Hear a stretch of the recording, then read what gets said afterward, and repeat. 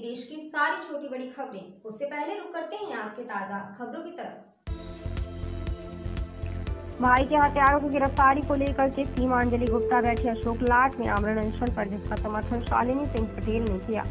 बांदा में दिनांक दस ग्यारह दो हज़ार इक्कीस को सीमांजलि पुत्री स्वर्गीय श्री सुनभात उर्फ़ बाबू दादू पति मुकेश निगम निवासी ग्राम समासिन, थाना कमासिन जिला बांदा, हाल मुकाम ग्राम भैंसवाही थाना विजरा खबगढ़ जिला कटनी, मध्य प्रदेश, भूख हड़ताल, आमरण बांदा, अशोक लॉट पर अनशन में बैठी हुई है।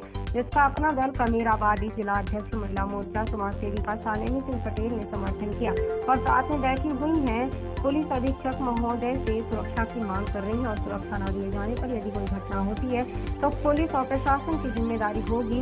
सीमा अंजनी के भाई संजय निगम की हत्या कर दी गई और न्यायालय के आदेश से दिनांक तीन तीन दो हज़ार इक्कीस को थाना खमासी में आपराधिक संख्या अठारह बटा इक्कीस धारा तीन सौ दो आई में एफ़ आई आर दर्ज हुई थी, जिसमें आज तक हत्यारों की गिरफ्तारी नहीं हुई और न ही आज तक माननीय उच्च न्यायालय के आदेश के बावजूद चार्जशीट दाखिल हुई और शिवांजलि और उसके परिवार को मुलजिमानों के द्वारा जान से मारने की धमकी दी जा रही थी। सीमा मांजलि के भाई संजय निगम की हत्या, भाभी रोली, पुत्र कांति और उसकी बहन रिंकी श्रीवास्तव पुत्र अशोक श्रीवास्तव अशोक श्रीवास्तव कुछ नामालूम निवासी पर ब्लॉक परिषद थाना कमासी बांदा, अमृत, अमित वर्मा, पुत्र नाम आलोक, शिक्षक, प्राथमिक विद्यालय, खेड़ा, थाना कमासी जिला बांदा के द्वारा हत्या कर दी गई थी।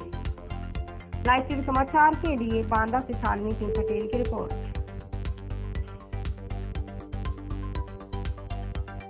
जी आपका नाम क्या है? मेरा नाम शालिनी सिंह पटेल है। अपना दल कमेरावादी महिला मोर्चा की जिला अध्यक्ष मैं बांदा से।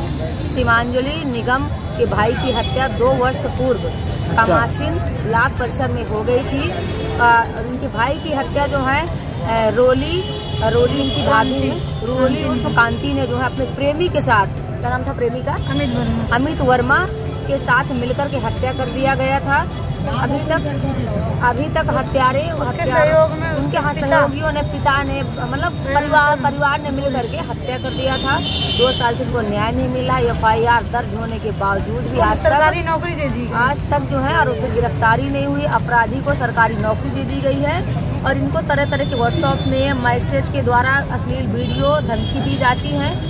जब इनको न्याय नहीं मिला तो ये कल से ही भूख हड़ताल पर बैठी हैं, अशोक लाट अनशन पर।